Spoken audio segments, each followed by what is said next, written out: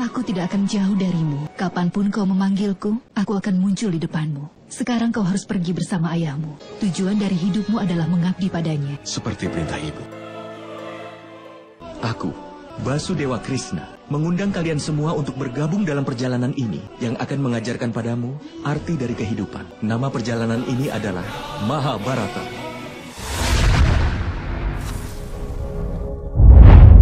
Kehadiran putra Gangga Dewa Bharata justru memunculkan masalah baru untuk hubungan Raja Santanu dan Dewi Setiawati.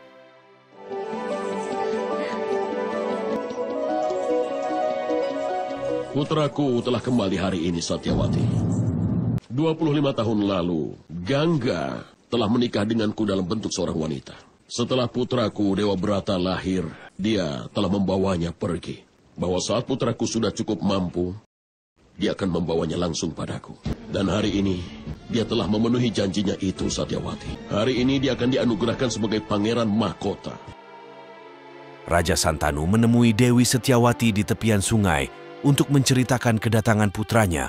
Santanu pun menyatakan bahwa Dewa Barata akan segera dinobatkan sebagai putra mahkota dengan harapan Santanu dapat menghabiskan masa-masa indahnya bersama Satyawati. Hari ini dia akan dianugerahkan sebagai pangeran mahkota. Setiap hari kau selalu bahagia saat bertemu denganku. Tapi hari ini, kau telah membawa kebahagiaanmu sendiri. Bisa mencintai seseorang membuat seorang wanita bahagia. Untuk mendapatkan cinta seseorang adalah keuntungan terbesar baginya. Sekarang sudah tidak punya keinginan lain lagi. Kita akan punya sebuah rumah di pinggir sungai ini. Kau akan berburu ikan. Aku akan pergi dan menjualnya di kota. Aku membayangkan kalau ratu dari Hastinapura berjualan ikan di jalanan Hastinapura.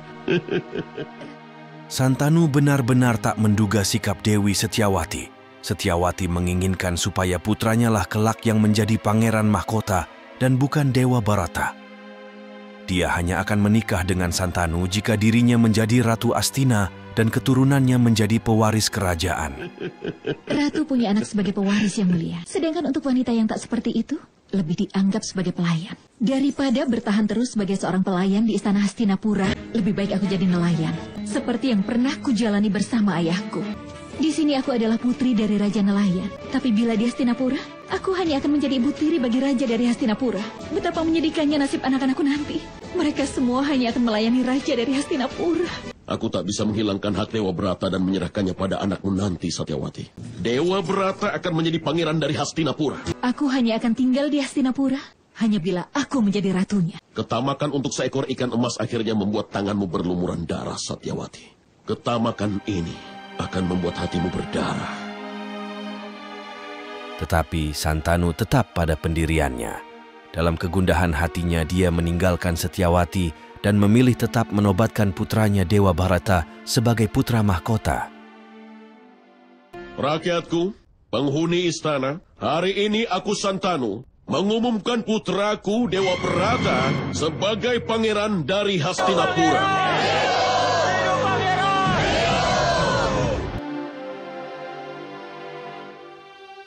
Setelah penobatan Dewa Bharata sebagai putra mahkota, hari-hari Santanu diselimuti kesedihan.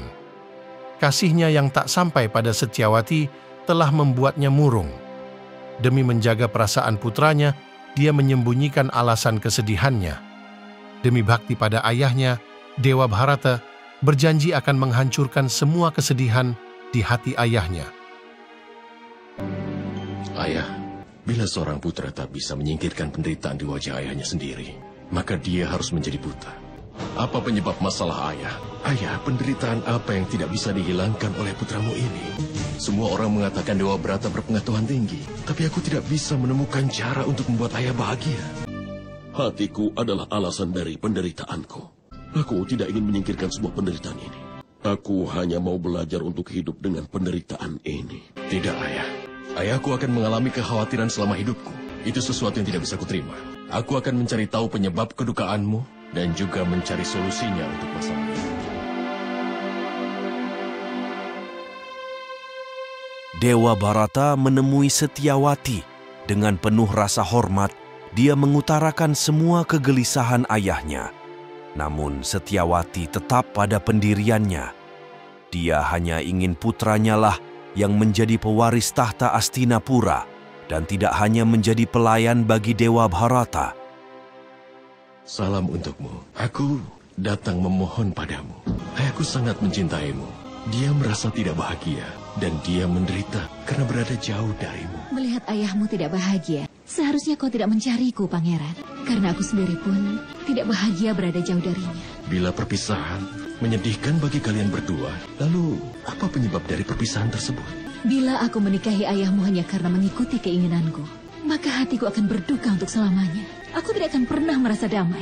Kekurangan apa yang ada di Hastinapura yang tidak akan bisa membuatmu tenang? Kebahagiaanku ada bersama kehormatan. Kau akan menjadi ratu dari Hastinapura. Aku akan menerimamu sebagai ibuku. Tidak, pangeran. Aku tidak beruntung bila menikahi ayahmu. Bukan hanya aku saja, tapi nanti anakku juga tidak akan beruntung. Akan bagaimana masa depan anakku di sana nanti? Mereka harus menerima posisi yang rendah di ketentaraan. Demi dirimu dan anakmu nanti, mereka hanya akan ditakdirkan untuk mati dalam perang, pangeran. Maksudmu aku adalah pembawa ketidakberuntungan untuknya? Kau adalah harta baginya. Akan tetapi Raja Santanu hanya bisa mendapat satu dari dua kebahagiaannya. Entah tinggal dengan putranya di istana, atau dia akan tinggal dengan istrinya di rumahnya yang sederhana ini. Tidak, Dewi. Ayahku akan memiliki kedua kebahagiaan itu. Sekaligus keduanya.